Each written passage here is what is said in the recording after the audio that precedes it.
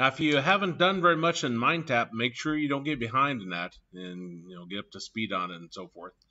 Um, I was looking out there this morning and uh, I noticed a few people were quite behind in it. Um, now, if there's a part you cannot figure out, like if it tells you uh, to do the uh, do the oh I forget which one it is, but it doesn't say anything about na- navigation on one of the tutorials. Know what I'm talking about? You have to do the nav to put the, the navigation across the top.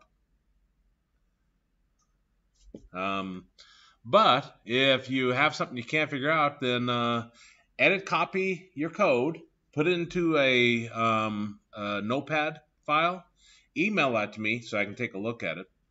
And then I'll, I'll tell you, I won't tell you how to do it, but I'll, I'll give you an example of how do you do a navigation with nav across the top.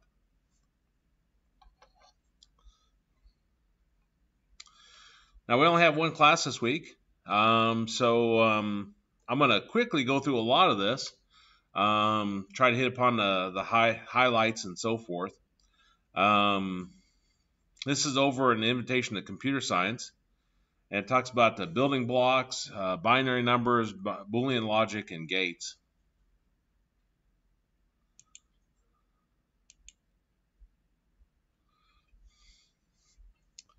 Um, we got base 10, base 2 numbers. And um, talks about uh, constructing a circuit and so forth. This talks about the fundamental building blocks of all computer systems. Um, binary representation, Boolean logic, gates, circuits. Um, chapter examines what the computing agent looks like and how it's able to execute instructions and produce results.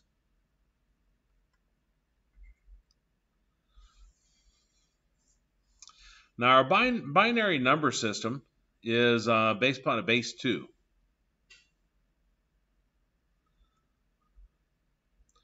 The idea of a binary is that it's uh, on and off, yes, no, true, false, positive, negative, uh, ones or zeros.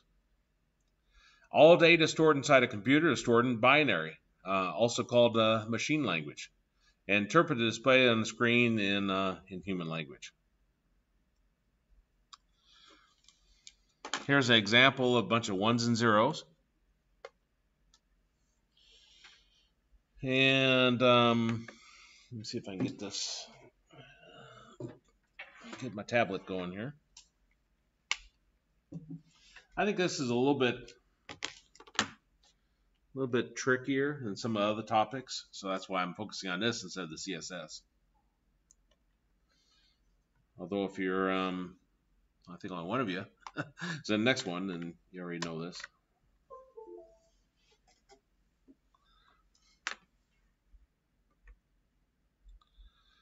And paint.net.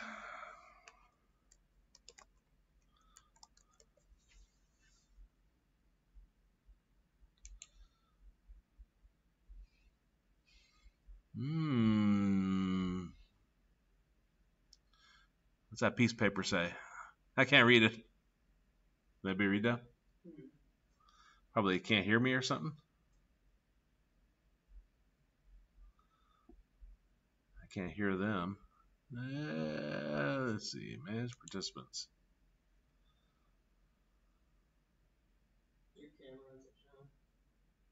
The what?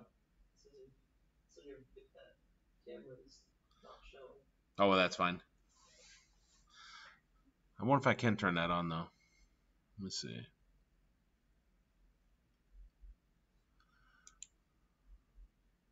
No, didn't crash it. Uh, it seems to collide with the recording whenever I do that. Can you hear me in um in Ark City?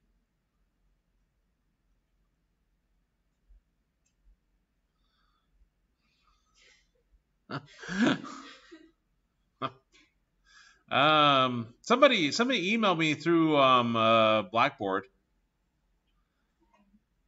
and let me know what you're seeing, hearing, or assuming you can hear me.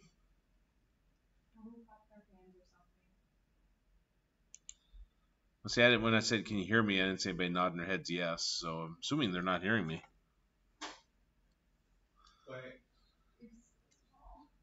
uh, Uh, they Uh. have uh, a sign up. Well, that's just great. I uh, let's try paint. Uh, paint.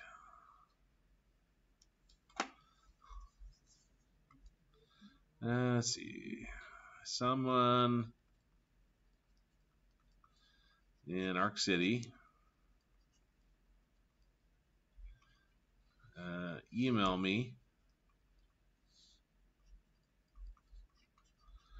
through Blackboard.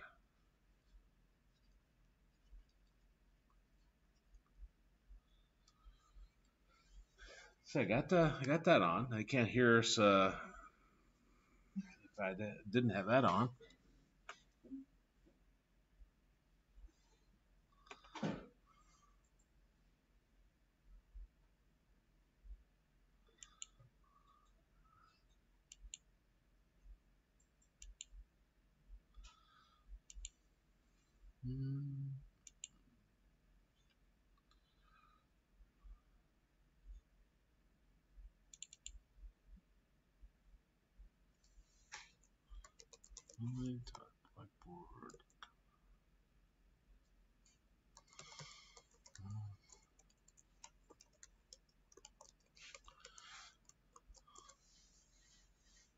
The walls. The walls have screwed up everything.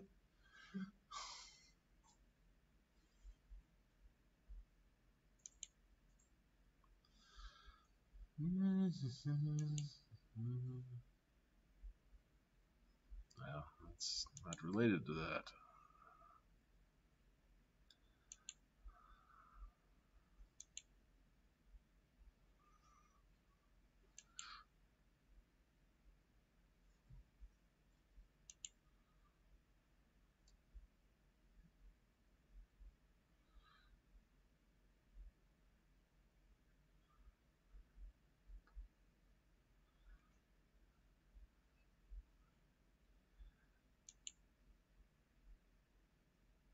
There's one.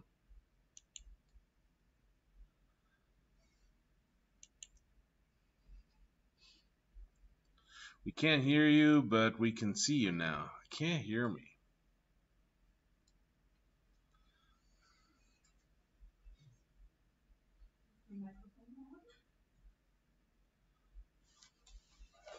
Look at you, asking the most obvious.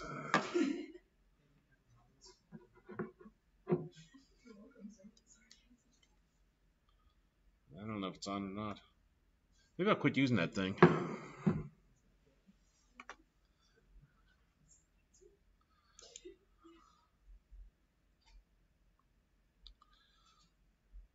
But I can't hear them.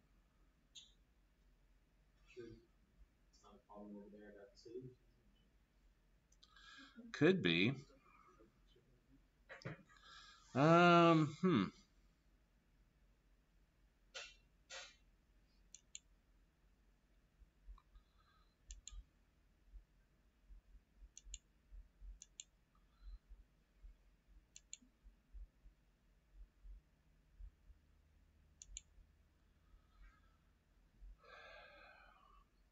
Can't start video. Failed to start the video camera. Please select another video camera in the settings.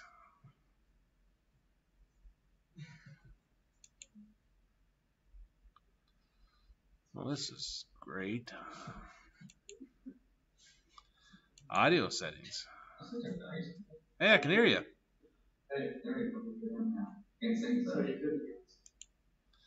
Can you hear me then? Yes. Oh, okay, great. We can't see. That's fine. Uh, I'm just happy to have uh, the audio. I'm not. I'm not gonna touch it anymore.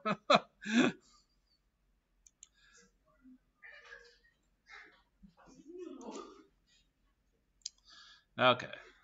Can you see my screen? Yes. Oh, okay, good.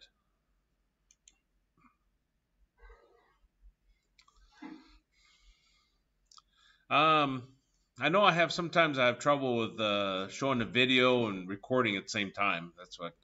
Um, I don't think that screwed up. Though I couldn't hear him before. I think it's that camera. Um, the binary number system, a uh, bunch of ones and zeros. Basically, that's how. Um, I'm not sure if you could hear that what I said earlier, but all data inside a computer is stored in binary format. So you need to have a little bit of understanding on that. Um,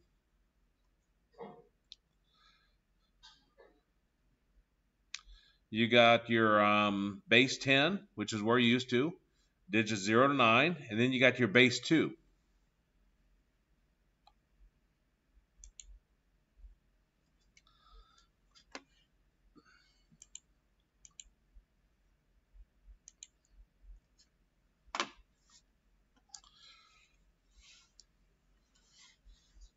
Now, if I look at a um, a number, so I got one, zero, one, one, one.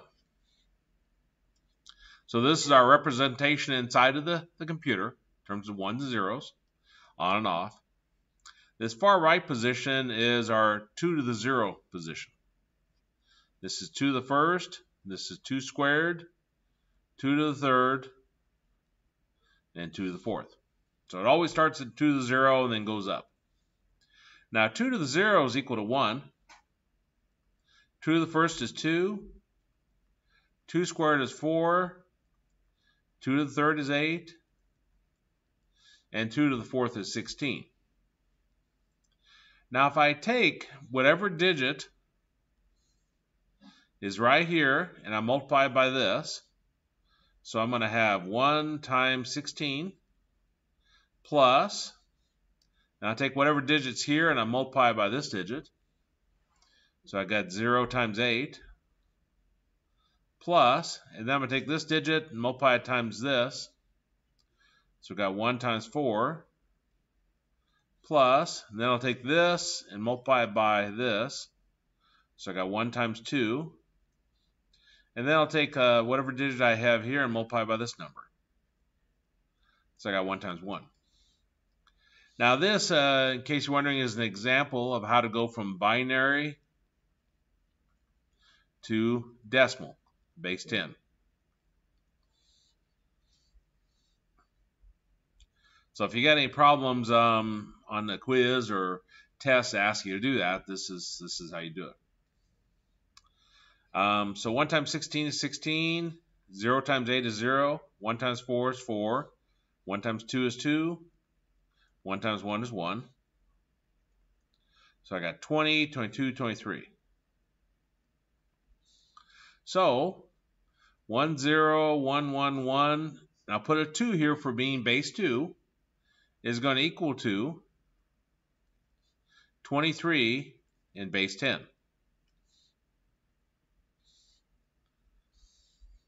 You can also, it's just as easy as uh, going through and everywhere you have a 1, you just add numbers in below it. So 16 plus 4 is 20, plus another 2 is 22, 23. Now that same principle does not work when you get into other bases like uh, base 8 or base 16, um, but that, that works um, binary quite well. Any questions from going from binary to decimal?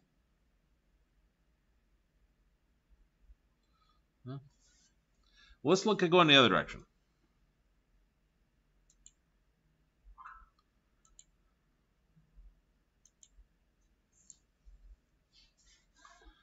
If I had, for example, um, 300 in base 10, and I wanted to convert that to base 2, binary. Um, let's see. This is 2 to the 0, which is 1. 2 to the first, which is 2. 4. 8. 16. Hopefully I went up far enough. Over far enough, I should say. 32. 64. 128. 256. Our next number would be 512, which is greater than 300. So what I do is it's this is old style division. You're going to take your 300 and you're going to divide it by your number that's uh, the first number that's less than or equal to that. Our first number is 256. That goes in there one time. 256, or 1 times 256 is 256. Um, hmm. Is it 44? Okay. Now this one that you see up here, that's going to go in the spot above the 256. So we're working now with 44. So that's a new number we're working with. Now does 128 go into it? No. So that's going to be a 0. Does 64 go into it?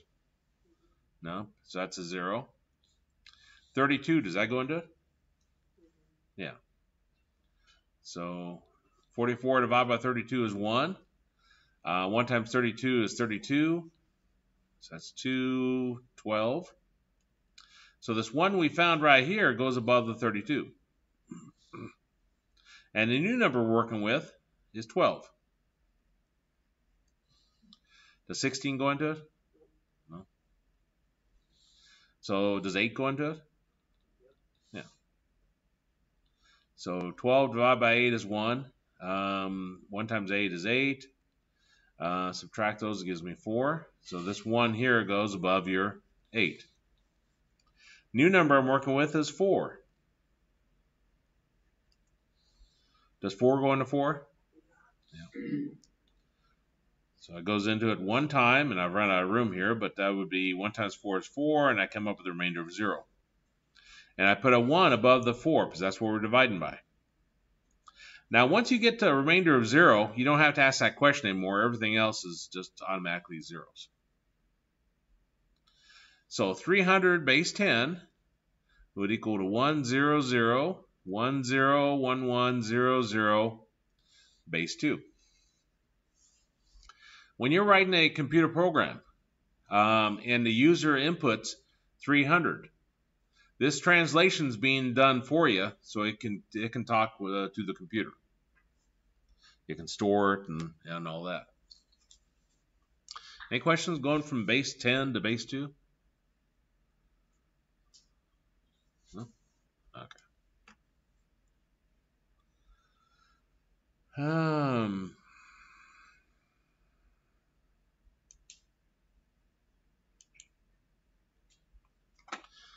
that just gives you gives you some examples there. But we've already went through went through that. Binary to decimal conversion table. That gives you um, a table you can use for for conversions. Um, obviously, doesn't work very well if you go beyond 31. That's why you have to use that technique I just showed you.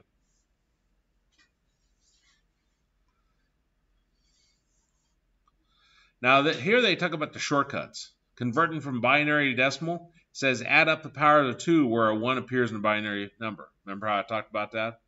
We just go through and add numbers underneath them with the ones. Now converting the other way from decimal to binary uh, says repeatedly divide by two and record the remainder. Um, I like my method better. Um, Computers use fixed length binary numbers for integers. Uh, 4 bits could represent 0 to 15. 0 to 15.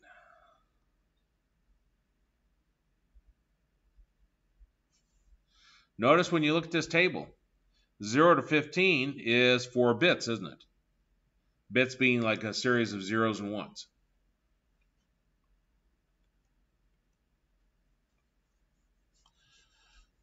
Now, uh, arithmetic overflow, when the computer tries to make a number that's too large, example 14 plus 2 with 4 bits, that's where you uh, run across issues.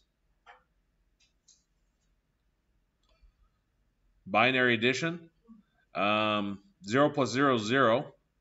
0 plus 1 is 1. 1 plus 0 is 1. 1 plus 1 is um, 1, 0.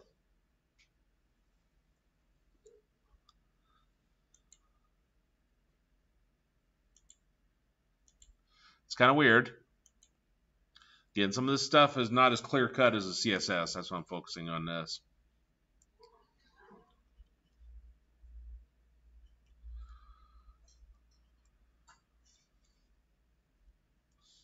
Now, when we're talking binary, the only digits you can use are 0 and 1. 1 plus 0 is 1. What's 1 plus 1? We're going to put a 0 because it's a 2 exactly, but we can't use a 2. So we put a 0 and then we carry 1. Because this 1 represents a power of 2 that we've carried over. So then 1 plus 1 is 2. So we're going to put what? 0 and carry the 1. 1 plus 1 is 2. So we'll put a 0 and carry the 1. That's what they're referring to on the um, PowerPoint over here. When they say 1 plus 1 is equal, looks like 10. Uh, 1 plus 1 is 0, carry the 1, and so the next digit over is 1. That makes sense? Much as binary can. And I gave you an example. Um, now, signed integers include negative numbers. The sign magnitude notation uses one bit for the sign and the rest for the value. Um, like if you just look at 0, 1, 0, 0, 1, 0, 1. This first spot, that's 2 to the 0. That's 1, right? This next one's 2 to the first, which is uh, 2. And this is 2 squared, which is 4. So we got 4 plus 1, which is 5. So the 5 is represented by those last three digits there. That's 5 no matter what. Now a positive we indicate by putting a 0 here. A negative we indicate by putting a 1 as our first digit. So that's just by convention. There's no mathematical behind that. They just said, okay, for positives, the first digit will be a 0. For negatives, the uh, first digit will be a 1. Now you have to handle that accordingly. Like if you're designing something with 8, a lot of registers and computers are 8 bits then if you're going to use just those eight bits, you have to say your first one is always going to represent your sign if you're using that idea, which means you only got seven seven places to work with. So if you got larger numbers, you have to do it differently. Um, zero. Well, zero is represented by zero, zero, zero. And here um, we got a positive zero. But it also says it can be represented with a 1. Why? Yeah, and 0 doesn't have a sign, does it? It can be positive or negative. It's still the same same principle. Now it talks about the two's complement. It says to make the negative number flip every bit and add 1. Hmm.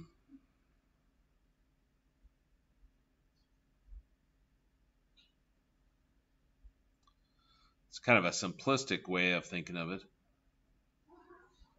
Um, you remember two's complement? Yeah. Let me take a look at a two's complement.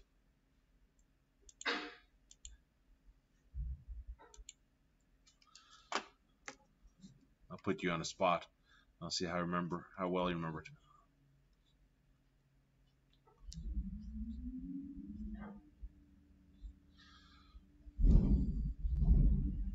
Okay, so I'm trying to find the two's complement.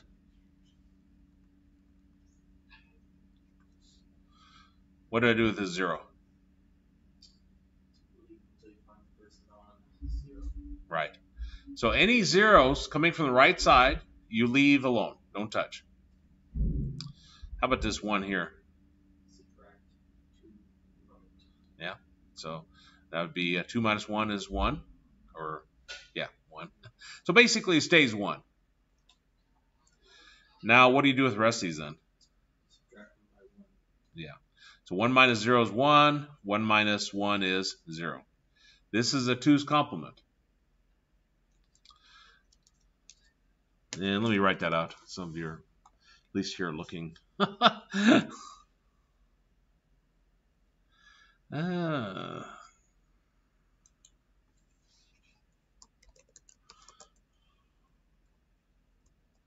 so a two's complement. Starting from the right side.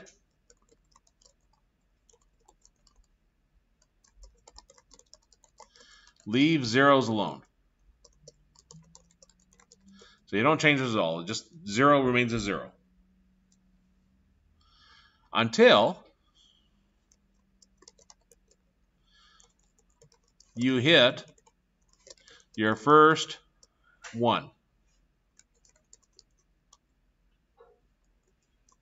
And basically, it remains as is. Mathematically, if you're looking at uh, complements with 9's complement, 10's complement, and so forth, you're actually subtracting from the base, 2 minus 1. But it remains a 1. And then the rest of the digits, um, flip. So zeros become 1s. So zeros become 1s. And 1s become zeros. That's the simplistic way of thinking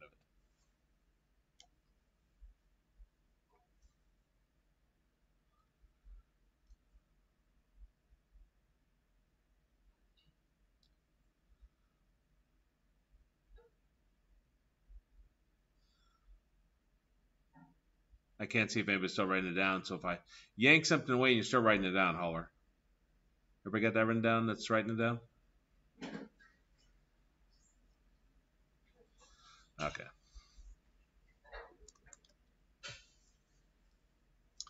So looking at this number here,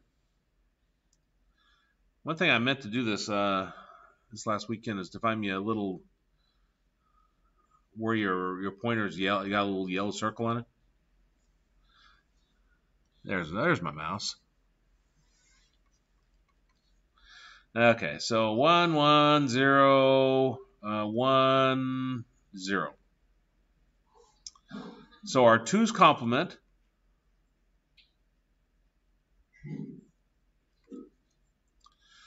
Zero is coming from the right side, you leave alone. Until you hit your first non-zero, your first one. That remain one remains as is. And then all the rest of these flip digits. So this zero becomes a one, this one becomes a zero, this one becomes a zero. And that would be our two's complement. Once you get used to it, it's a simple, simple idea. Applying it to other bases uh, is a little bit more than more than those rules I gave you.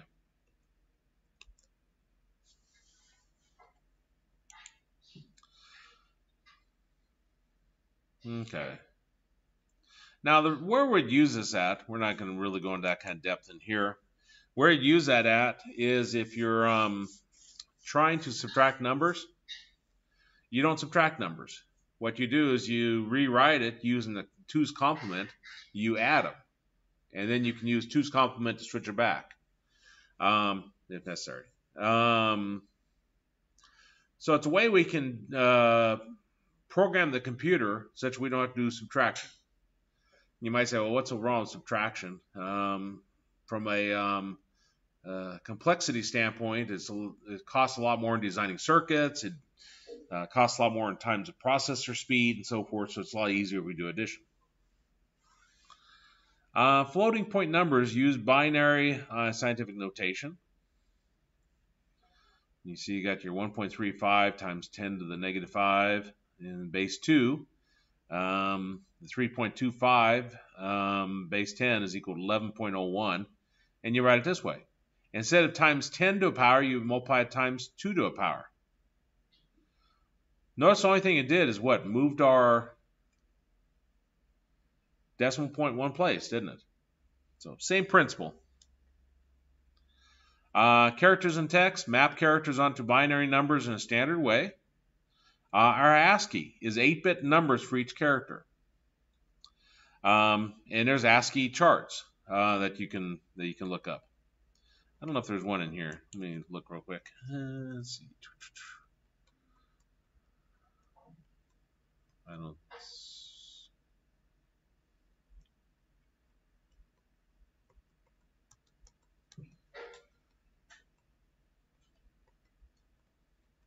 I don't see one.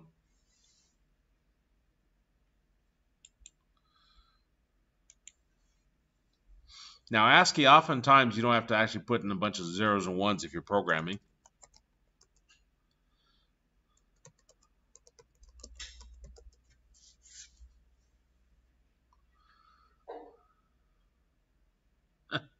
Website called ASCIItable.com. It's probably a virus if I go there. That's not my computer.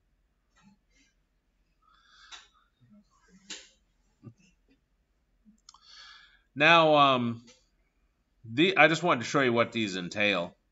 Uh, this does not put the bin- does not put the binary number there and so forth. But the ASCII, um, oftentimes, like here's a carriage return, um, horizontal tab, new line feed. Um, so in programming, you have to understand uh, when to use these particular codes. You say, why, why would I want to use it? For example, at IFR, um, they used to buy these metal plates to put them back on the spectrum analyzers. And uh, they had the serial number on there and so forth. Well, it's cost a lot of money, uh, those metal plates. And they became damaged, would fall off, and so forth. So they were looking for a cheaper solution. These probably still fall off, don't get me wrong.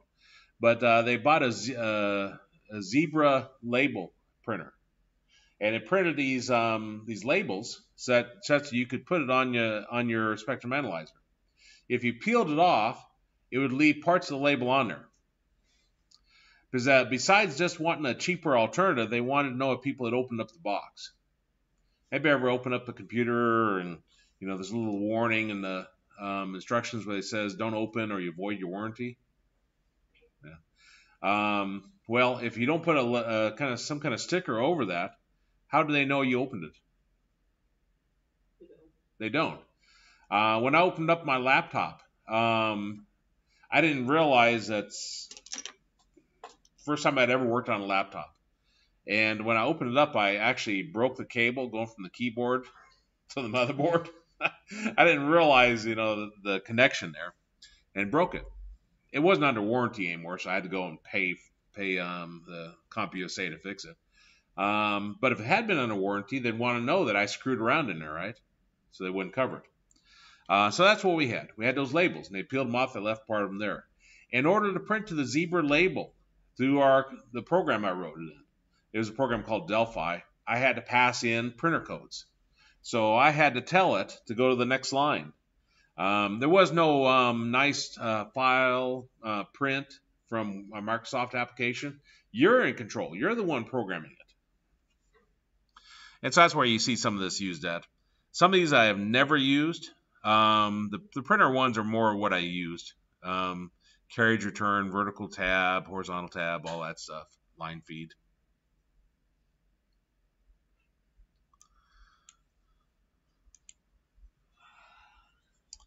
Okay, ASCII is 8-bit numbers for each character. Uh, is Unicode, minimum 16-bit uh, numbers for each character.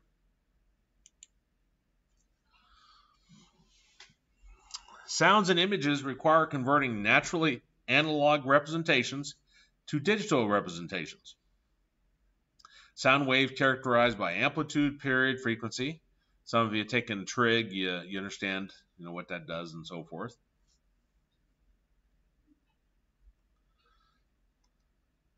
I was uh, I was struggling with a little bit with that last night.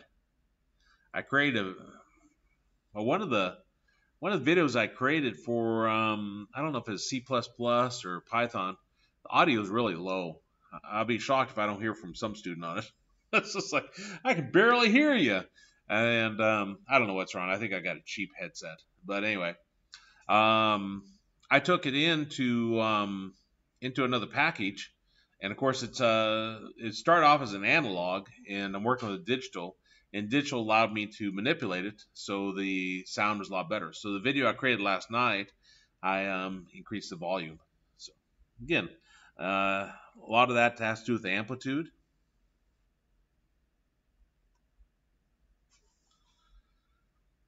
example of sound uh, represented as a waveform. See that given that way.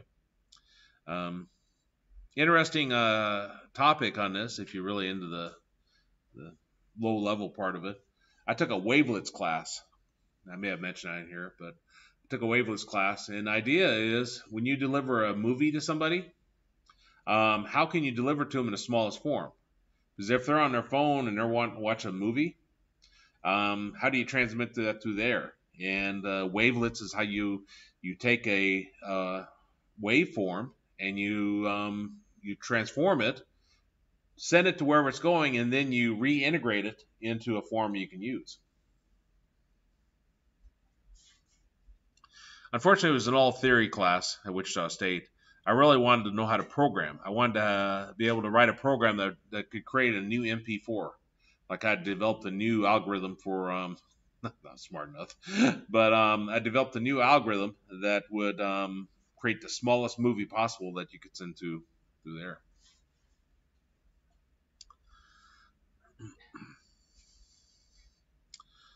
By the way, the person, the person or the company that came up with the MP4 format, how much do you think they're making now? What? Nothing. I'm looking it up. If it's an individual, they're probably being paid royalties from uh, every everything that uses MP4. Um, so they're probably not working the rest of their life. If it's a company, then I don't know about that. And maybe it's an open source type thing. Somebody created it and said, uh, "Formats out there, use it." Um, there's lots of other formats, a lot of other video formats available, and some of them are proprietary. You can't use them unless you uh, pay them or you get permission. So, there was some trouble. There was some trouble with that with a um, a place here in Kansas. Is Educand. They were using some kind of video uh, format that they hadn't got approval for. They hadn't paid the company, and they, they got a lot of trouble over that. They got sued and everything. You know, because if I if I put a lot of effort in dev- designing a new, the new MP5 uh, video format, I don't want people to steal it, do I? Okay, digitize to convert to digital form. Uh, sampling, record sound wave values at fixed discrete values. We've got our sampling rate, bit depth. Um,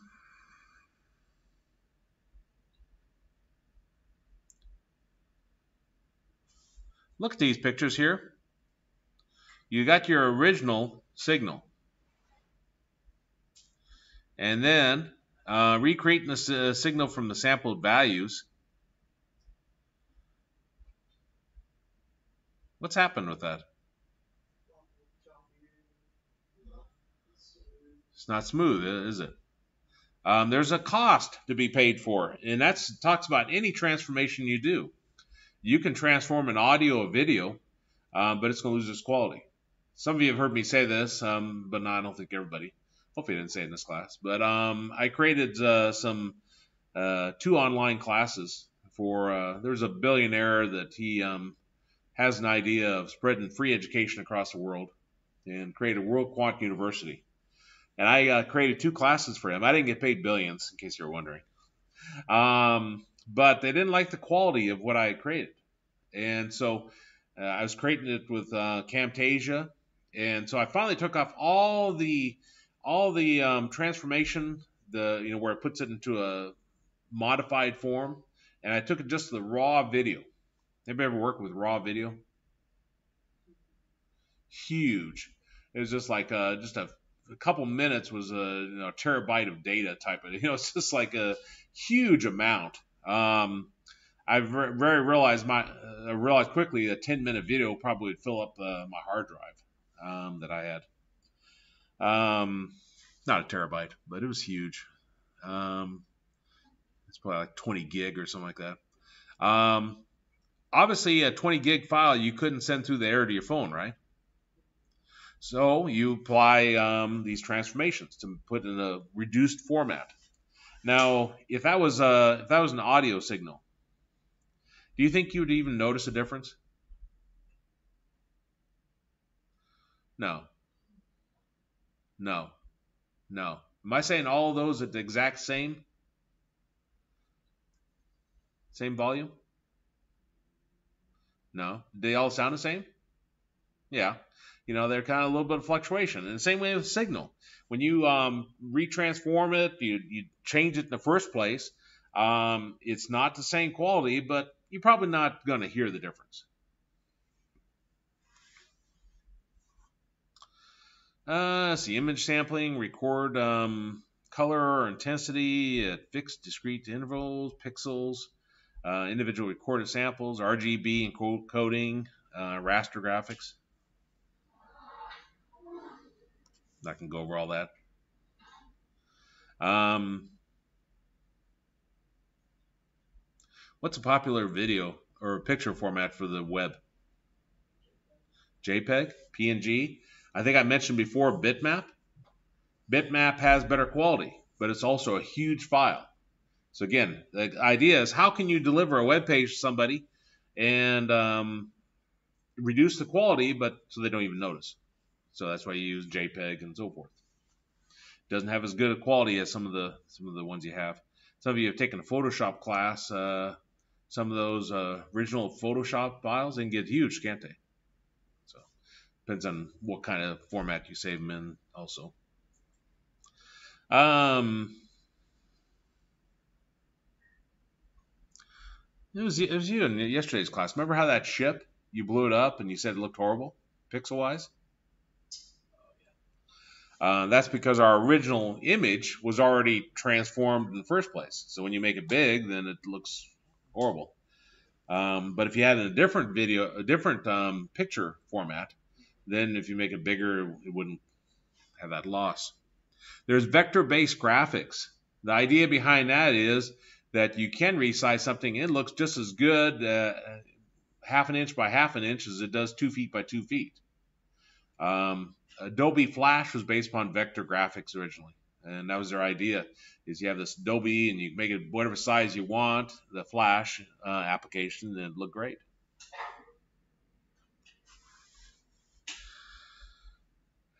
Um, this talks about uh, the binary number system for um, grayscale, going from zero to seven. Again, we got eight eight bits there, don't we?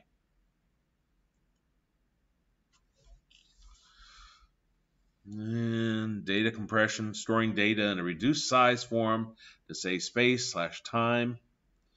Um, lossless, data can be perfectly restored. Lossy, if I'm saying that right, data cannot be perfectly restored. This is really nice, but to restore it perfectly um, might be too costly. This might be a better, better solution.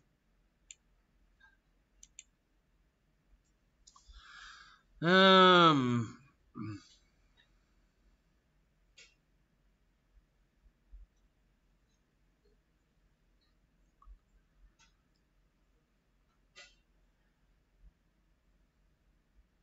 Trying to think how this relates to what we looked at in the other class.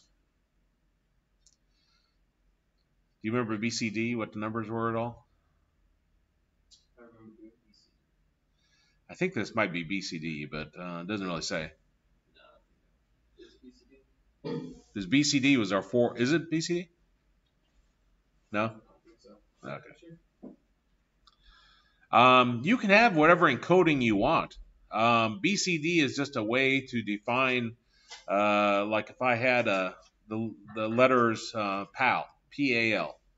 I could look up P, which might be 1010.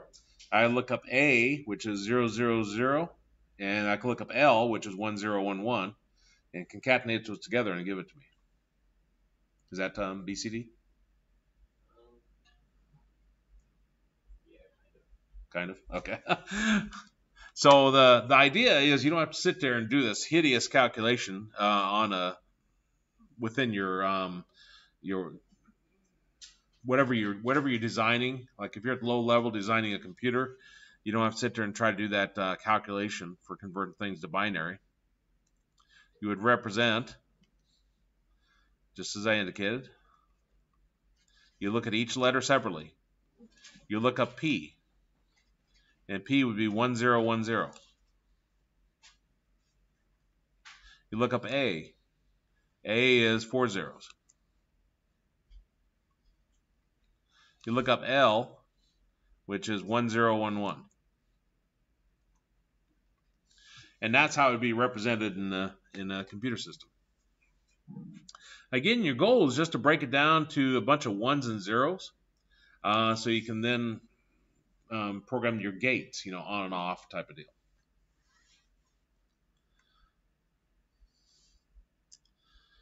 Um, current on and off, magnetic field left, right. I thought what was real interesting in the other class, Introduction to Digital Design, is that for something to uh, be on, the voltage has to be within a certain range of values, which means if your voltage is a little bit off, it may not come through quite correct. And they got uh, cor correcting factors you can do on that. Wasn't very comforting. I guess I always thought that um, ones and zeros would be going across reliably. But since there are, or do you have actually ones and zeros going across a circuit? No, you have what going across? Volts. Yeah, so you have your volts going across your circuit. And if the volt's within a certain range, that specifies it's one or it's on. So this talks about transistors, solid state switches, change on and off when given uh, power uh, control line. Extremely small, billions per chip. Uh, enable computers that work with work with uh, gigabytes of data.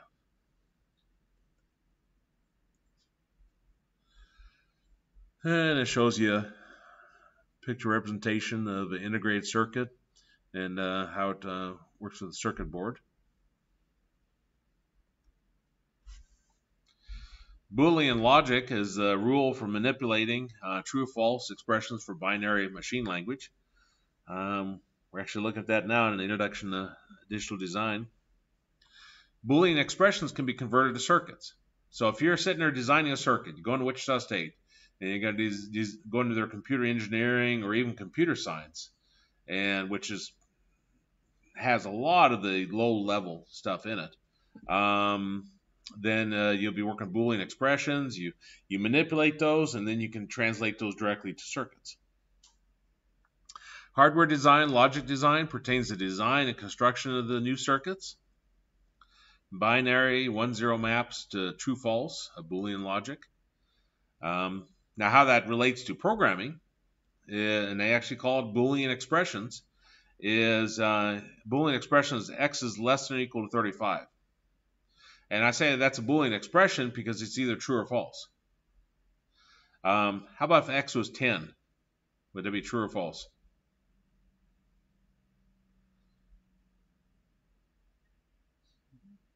True, because 10 is less than or equal to 35, right? Now, A is equal to 12. Um, I don't know what the answer is to that one. It depends. In programming, most programming languages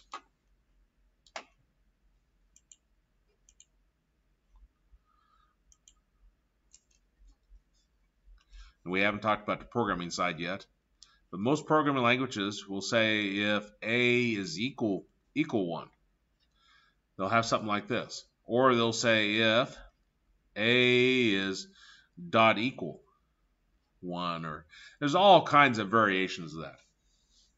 And what this checks is checks to see if A is equal to 1. So if I set A equals 5 up here at the top, and it comes down to here, is A is, is A equal to 1? No. So this would be false. Or zero in terms of binary. Now, um, if you're taking a programming class, most programming languages interpret this as the assignment.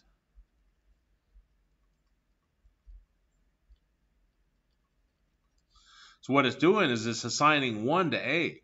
So it's putting 1 to the variable A. Um, do you think that's true or false?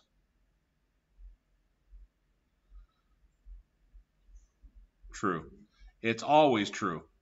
I don't know how many times that's bit me over the, the 20 some 20 some years I've been programming. Uh, the programming languages allow you to put an equals there. Uh, it always works no matter what. and you you actually are trying to program an if else. So if this is true, you do this. Uh, else you do this. And no matter what, my code would be sitting here doing this this code right here. And the reason why this is always true because I forgot to put an extra equals. Um, I, the programming languages that prevent you from doing that are the ones I really like. That say, hey, you got you can't have an equals here, um, because I can't really think of when you'd ever really want one. So, like I say, I have no clue what the a equals 12 represents here. It depends upon your programming language. Now, just from a human standpoint, you know, we think of it as actually equals, not an assignment operator. Okay, Boolean operators, um, you can have an and, an or, or not. Um, we haven't talked about this yet in the other class, but a, a um, not one, where we actually digit one, what do you think that'd be? Uh, false, zero. So it's opposite. So not uh, flips it to the opposite. Um, and then and and or, we're not going to uh, go to yet. Uh, truth tables lay out true false values for Boolean expressions for each possible true or false uh, input.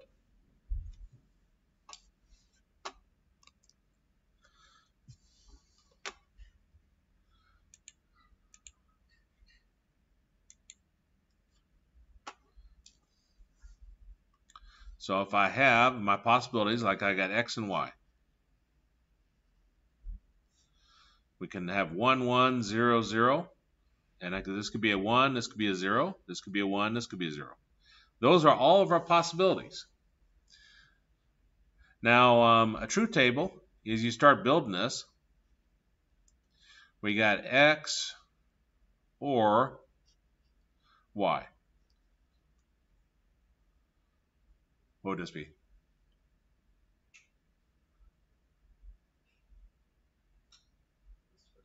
Uh, what would this be for the first one? Zero. Uh, Zero, one, one, one, one, then one, then zero. then zero. Yeah.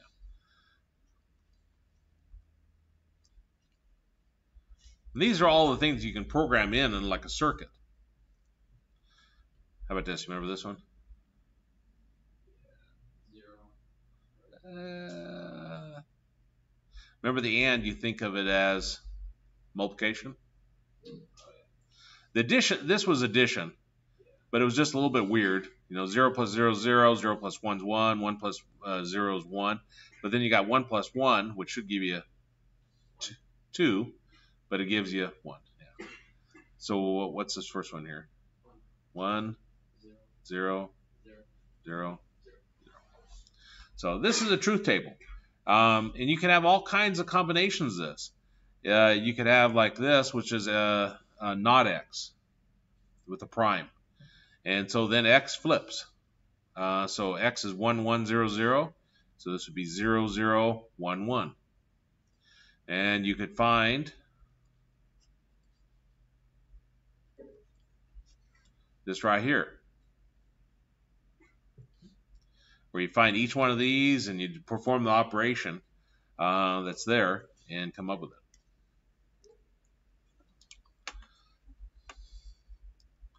Now, if I just put you to sleep on that right there, and you're planning on going into computer engineering, you're probably going to run major. That's what uh, tons of that uh, exciting stuff like that is. Now, if you find that found that enthralling, then um, it could be computer engineering, where it's where you want to go.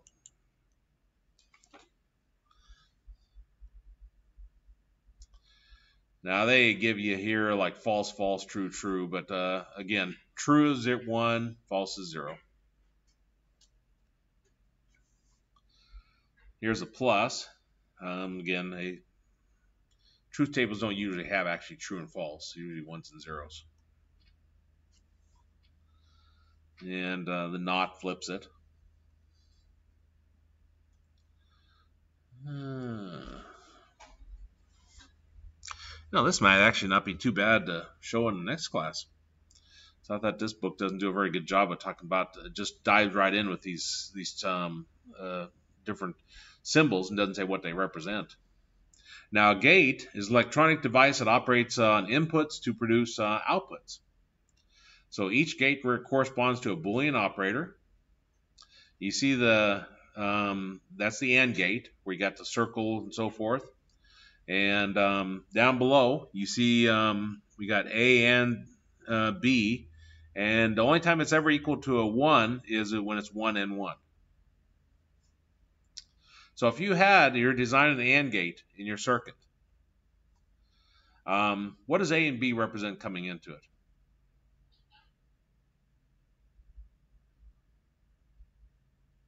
Voltage, right? So that represents voltage coming in, which means you have a certain amount of voltage coming in on both of them. And then it, it handled accordingly. You see the OR gate, and they have a little times in there and a little plus. Uh, the times is exactly like you think of it 0 times 0, 0 times 1, and so forth. The plus is uh, exactly like you think of it, except for 1 plus 1 is 1. So other than that, it's it's it's what you'd think. And then the little triangle with a, a circle in front of it, that's your NOT gate. Now they put a bar over it for a the A bar. Some books will put a complement, uh, the or A prime, where they put A and then the little prime. Again, that represents not A. Oops. Okay. Gates are built from transistors.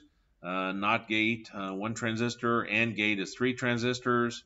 Uh, OR gate is three transistors. Um, the not AND, not OR is two transistors. Uh, transistors can be in series or parallel. Um, that shows up the power supply. then you got a resistor, and then um, you got your different inputs and outputs and so forth there.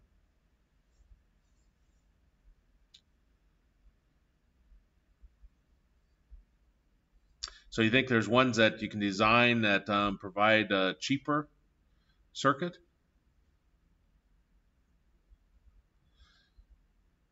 Some of those require three transistors, right? So definitely if you can rewrite your, your Boolean um, so that it's less complex, you can reduce the number of um, transistors you have to have in your circuit. In your circuit design, I should say. Uh, this goes, shows the construction of it. A little bit different uh, symbols that are used in the other book. Here's some more. Okay, building a computer circuit. Um, circuit has a input wires, contains uh, gates connected by wires, and has output wires. Um, uh, outputs depend only on current inputs, no state.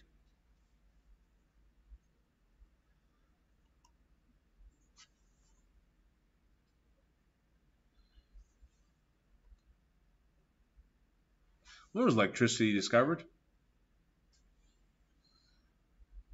1800 sometime, wasn't it? Was it 17? No, it wasn't 1700s. That would have been uh, Civil or not Civil War. The we didn't have electricity during the Civil War, right? 1879. So we've had it maybe 140 years, electricity. Isn't it amazing that somebody came up with the idea from the point where, you know, electric, electricity coming from the sky in terms of lightning, that we're to the point where we're sending el- electrical uh, through a circuit to do everything we're doing. Makes you wonder where we'll be another 140 years from now. The what? They never know. They, they um, some of the new technology they're coming out with. Uh, one one uh, professor made the claim that uh, people are going to be living to a thousand years old for too long. Um, now I'm going to be dead by then. I'm happy about that.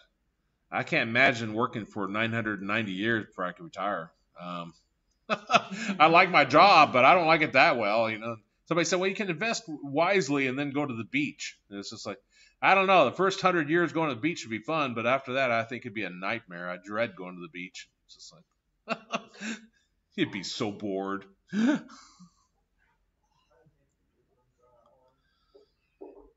you can see it with some of the technology, like uh, nanobots.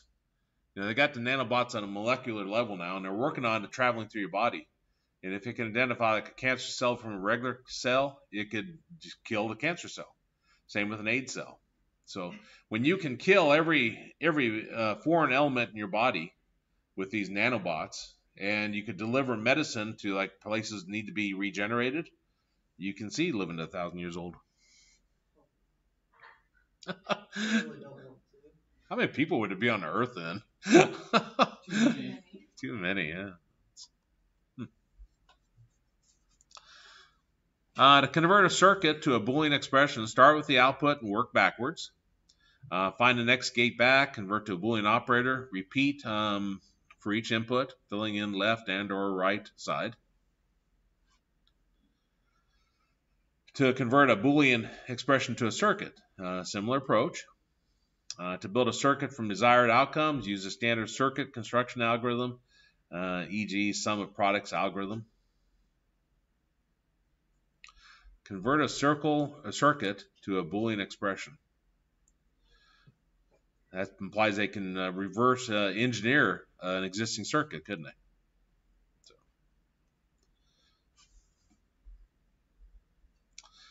An example from the test. Uh, I won't go into that. Quickly running out of time. Okay. Uh, this shows a circuit diagram. Um, and there's a, I haven't got it uh, fully installed yet, um, but there's software that you can use to create this. Haven't got it fully installed yet or even uh, tested yet, but um, Multisim. I don't. I didn't put it on my computer, I guess. Put it on all the other computers here at Wellington, but my I couldn't get mine to work. Um, but you you build this. That's your design. You construct a truth table describing the behavior of the desired circuit.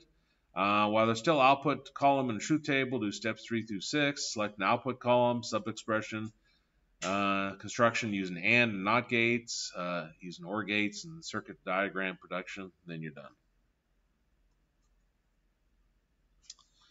Uh, compare for equality uh, CE circuit. Input is two unsigned binary numbers. Output is one if inputs are identical and zero otherwise um, so forth.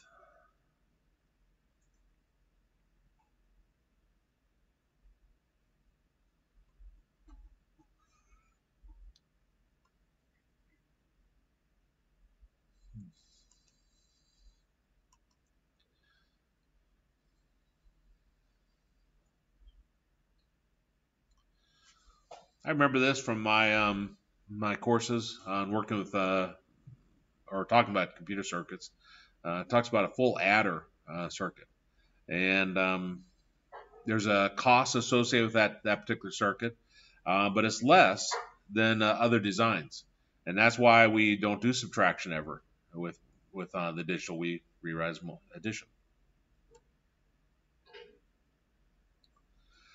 And um, again, I'm not going to go over that.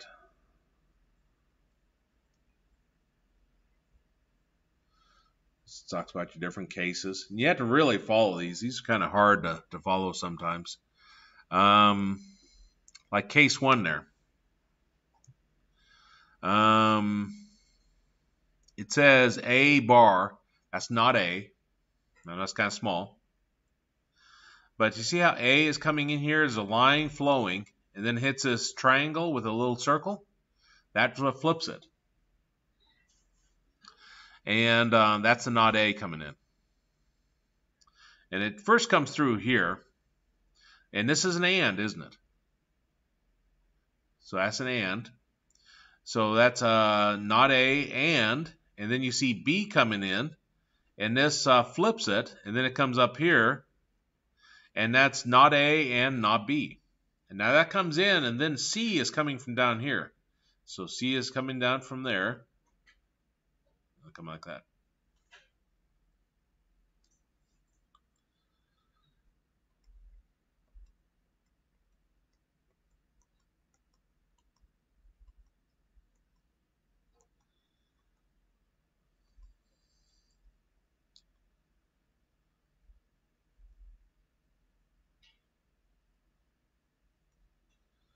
Um,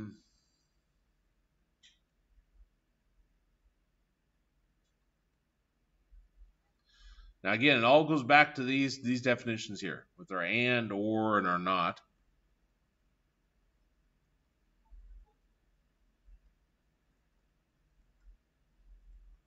Which then goes back to you know this design here.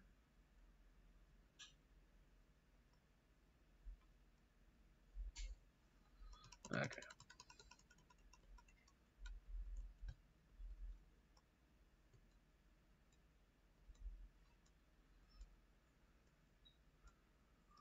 Does that um these make sense? These these circuits?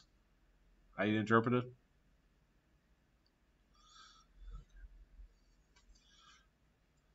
Um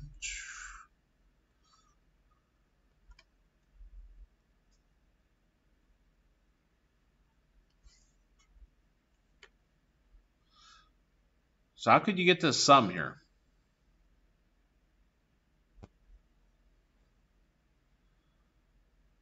Remember how they said you start with your end result and go backwards?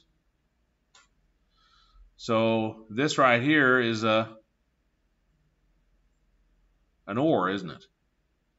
So you have an or in there. Then the first part of the or, you come back here, and this is another or. Then come back there, there's an and, here's an and. Come back here, and. So that's where you can build build it going backwards.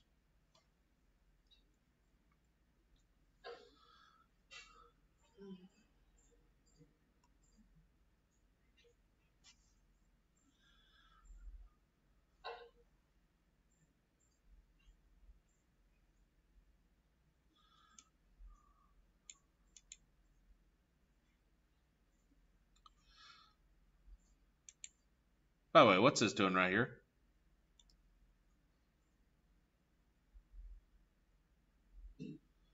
It's adding, isn't it? So that's how you do uh, the addition.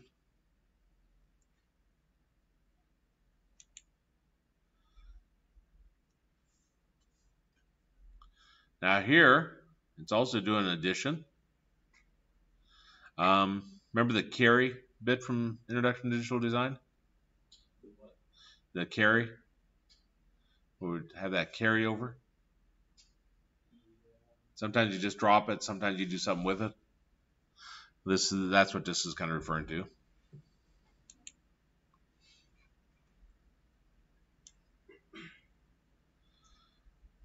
Uh, let's see.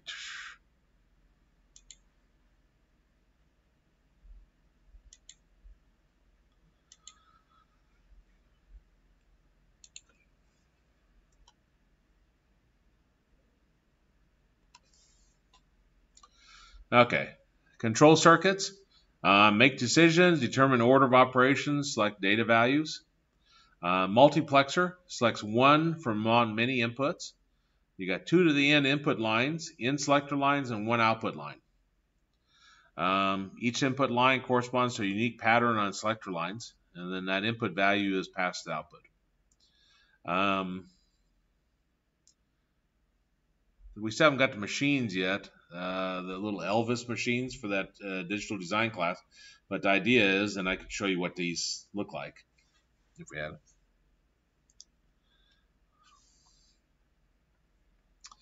And it just shows you an example of a two input multiplexer circuit. Decoder sends signal out to only one output chosen by its input.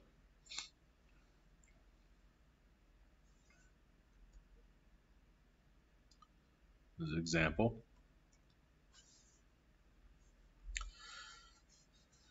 We got our decoder circuit uses. Select a single arithmetic instruction given a code for that instruction. Code activates one output line that line activates corresponding arithmetic uh, circuit. Multiplexer, uh, choose from to choose one data value from on a set uh, based on selector pattern.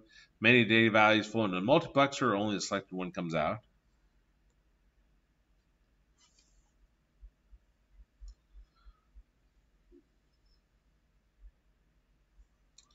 We've got a control circuit here for decoding.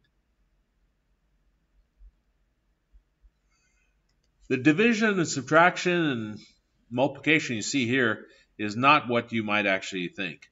Um, it's a different type of operation done on a computer. Okay, just a brief summary. Uh, customers use, or customers, computers use binary representation because they maximize reliability for electronic systems. Um, many kinds of data may be represented at least in an approximate digital form using binary values. Data can be compressed. You got your lossy, some information is lost. Lossless, no information is lost. Boolean logic describes how to build manipulate expressions that are true or false. We can build logic gates that act like Boolean operators using transistors. Uh, circuits may be built from logic gates. Circuits correspond to Boolean expressions. Sum of the products is a circuit design algorithm takes the specification ends of the circuit, and we can build circuits for basic uh, algorithmic tasks. Um, and you see the ones given there. And that's really all that, that chapter there. Let's see what I can cover in six minutes time on this other one.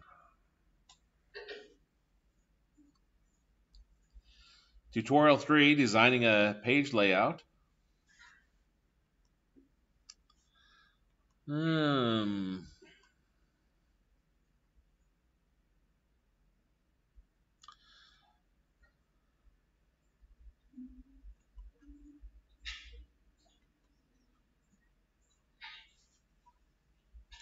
this is kind of interesting. Creating a reset style sheet is if um, you want to create uh, code that kind of nullifies anything that comes in style wise. Then you can, um, this seems kind of real obvious, font size set to 100%, uh, margin 0, padding 0, vertical align baseline, uh, list style none, list style image none, text decoration none, line height 1. So you have that to begin with, and then you're making sure that whatever's coming in is kind of reset. Um, page layout designs, you get your fixed layout, fluid layout, and elastic layout. Um, fixed is uh, set in stone. No matter what, it looks like this. Your fluid, uh, they're set as a percent. And you'll see this in different uh, elements, HTML tags too like in a table. You can say this first column is 25%, the second column is 75%. And no matter what size your screen is, it'll uh, resize it. We got our elastic layout. Images and text are always sized in proportion to each other in uh, EM units. Um, this causes major headaches if you go on uh, develop any apps for like cell phones. Um, oftentimes these these are put in reference to each other in terms of how many how many distances between them.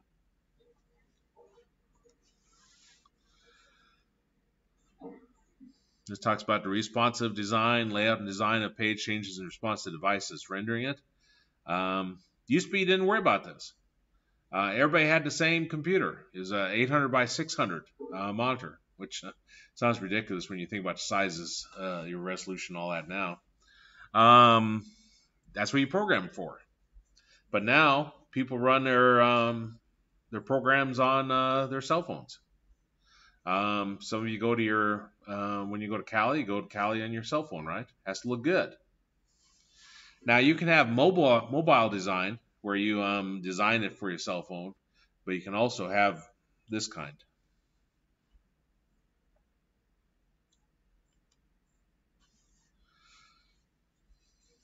You got your width and height. You put values there. Sometimes this works. Sometimes this doesn't. It all depends upon which tag you're using. Uh, some of them it doesn't make make sense on. How about images?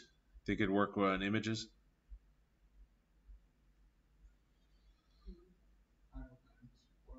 The what? Yeah. How about um, uh, horizontal horizontal rules (HRs)?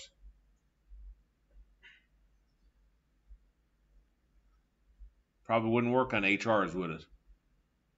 Because horizontal rules do not have a, you know, a height, do they? All they are is just a line going across. Um, they don't have a width. Because the idea of a horizontal rule is goes clear across your page. So, like I say, some of these will work on some, but not others. Uh, two minutes. Uh,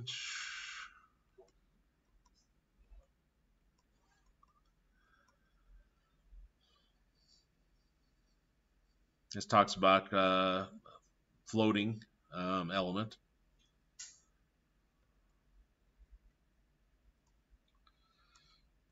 I think the book does a pretty good job talking about all that, though. So.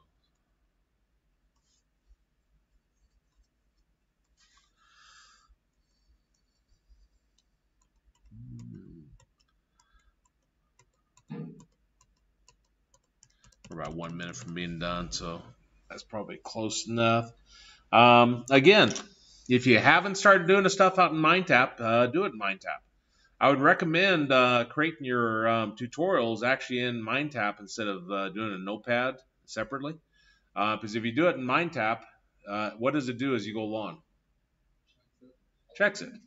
Yeah, so it guides you. It says, uh, "Hey, you got this wrong," and um, so then you can figure out what you what you did wrong in that one little piece. Versus trying to do the entire thing uh, in Notepad. Um, that's kind of the you know, there's an incremental approach, uh, which is the way MindTap is designed. Then there's like the Big Bang approach where you try to do it all at once, and that that's that, that can be overwhelming. Um, so again, if you're behind on some of that, um, get caught up. If you're not figuring out how to do something, edit, copy what you have HTML wise, put it in a notepad, and email me the file. Uh, you might have to zip it. Yeah, zip it up and send it to me. And um, if you never if you never zipped anything up, you right click on the HTML and send the compressed folder. I think if you send me the actual HTML, it does weird things, like puts puts it all in one line. Uh, if I remember right. We're out of time. Is there any questions? Or anything?